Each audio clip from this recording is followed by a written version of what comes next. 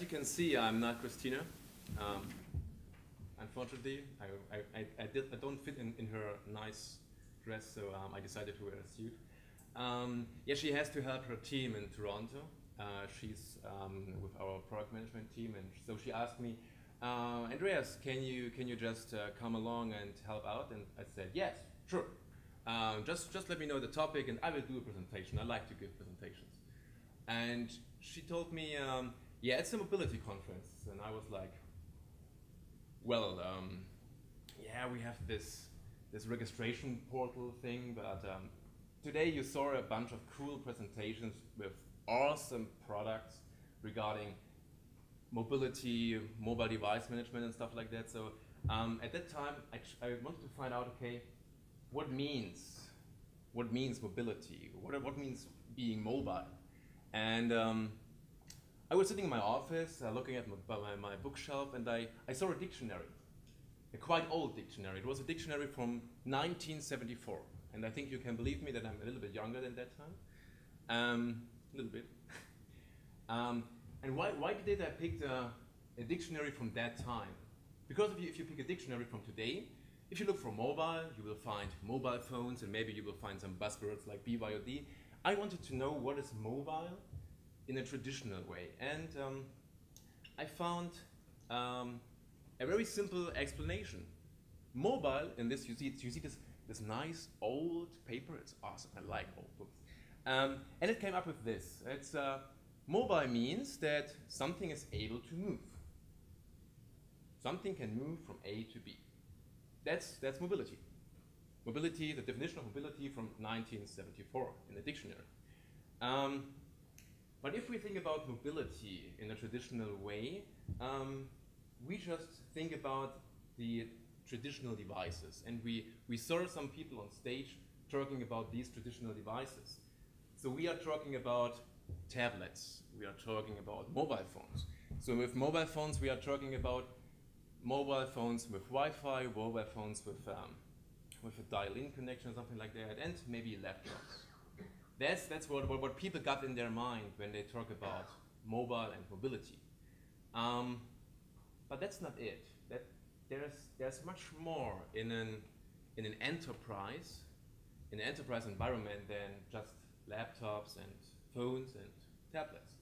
And some of the, of the speakers today already mentioned some of these, uh, some of these uh, technologies.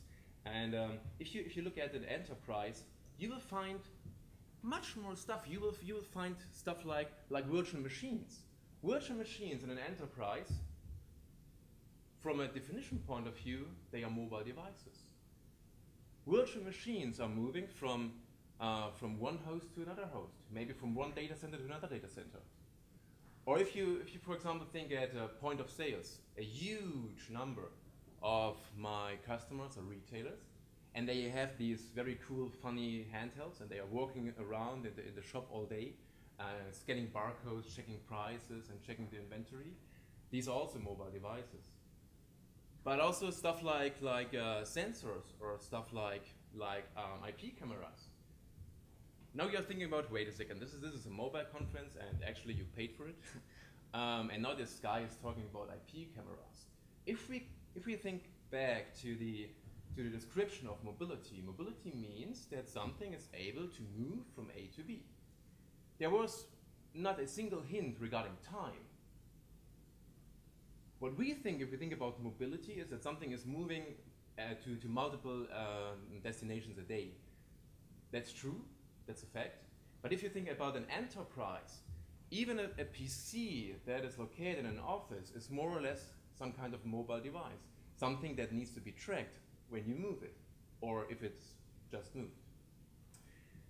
So these, these devices are sometimes very, very hard to, to manage and very hard to track, but there is there's one thing, one single thing they, they have in common every single device in an, in an enterprise or even uh, in, in, in, a cloud environment or you name it, there's one, one thing they have all in common, and this is an IP address.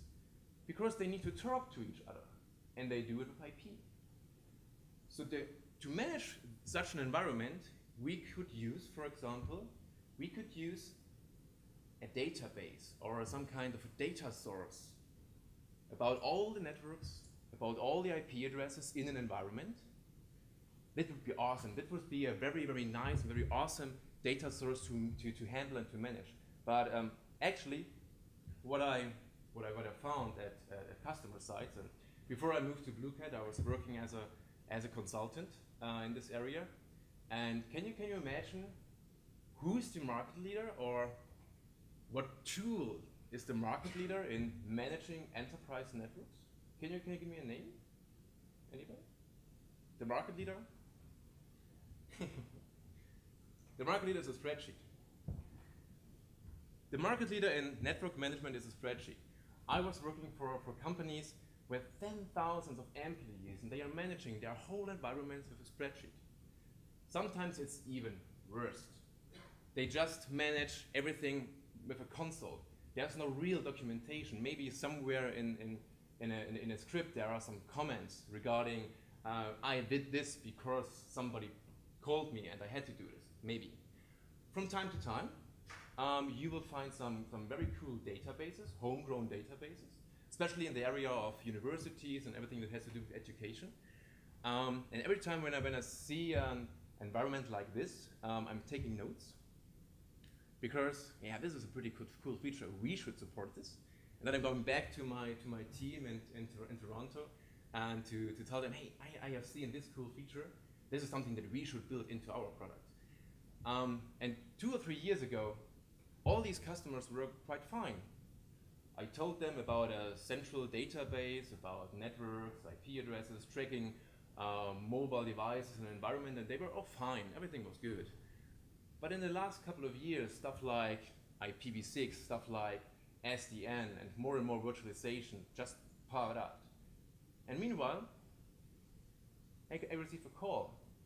Hey, Andreas, uh, you remember the presentation you did two years ago? Um, this is something that sounds pretty interesting, meanwhile. Because even universities, they have the cheapest employees ever. They are called students. They work completely for free they, because they need some kind of a project to get a degree. Um, so they realize it's this is this is not the way that, that you should go.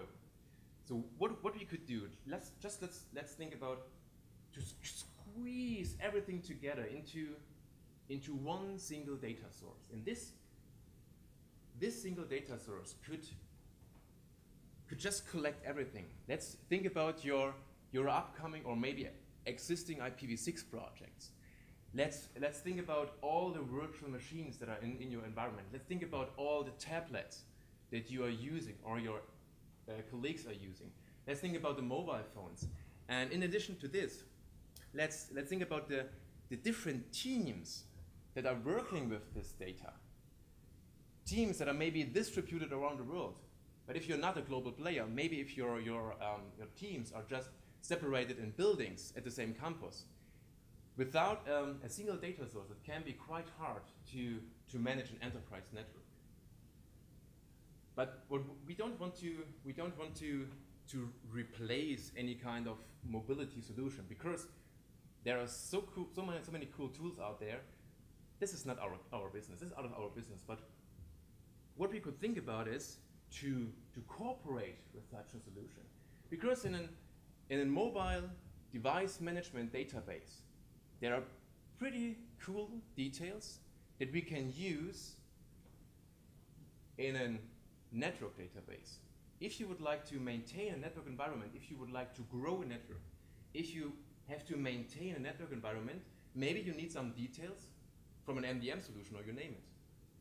Or maybe let's let's try it to, to do it the other way around. Maybe we have some details in our database coming from the network that can be useful in an MDM solution. But it's not, not only the connection between this address database and an MDM solution. In addition to this, there is, there is much more in your environment. Just think about your, your CMDBs or your asset management database. Every time when you, when you add a new asset to an environment, it has to do something with IP, and at the end, maybe it could be a, a mobile device. So in addition to, update, to, to the update of your, of your uh, address database, would be cool if you update your MDM solution in addition. Or let's think about a, a completely different story. Let's, let's think about human resources. I think this is something that nobody heard today, exactly. Com companies are, are, growing like hell. Companies are hiring people like hell. It's awesome. Uh, two weeks ago, we had our, our kickoff in Toronto, and I met so many people I never seen before. Because companies are growing, they are hiring people. But every time when you hire somebody, this guy needs to work on some kind of a device. But the database of human resources and the databases of the IT team are completely separated. So you need some phone calls, you need some tickets, and so on. So it, it takes a while to go there. Would be cool if HR hires somebody and is able to trigger tasks in your MDM solution, or maybe to trigger uh, documentation in your address database. So this is, this is something that, that, is, that is not, not really fictional. This is something that is, that is doable. And Bluecat did it in the past. We try to, to create an, an elastic solution that is able to grow with your company, to move with your company if, your, if the focus of your company is maybe changing a little bit. A flexible, central, single pane of glass for everything that has to do with networks and with IP addresses. And all the mobile devices out there, all the, all the, the cool small handhelds and so on, everything that, that, that you have in an environment got an IP address. So this is this primary key that we can manage. Sorry. So if we if you if you just just try to to to tell a story, and that what that was what was happening in, uh, in, in in my office when I was thinking about okay, this is a mobility conference. Yeah, we have some some things that that would fit in. But every mobile device is something that you that you would like to track, and sometimes there's nothing that you can install on this machine directly. So we would like to, to give you an idea at our booth, my team is here, to present you how we can how we can make such an elastic network, how we can create an environment that is designed for change. So if your company is changing, our environment is able to change with you.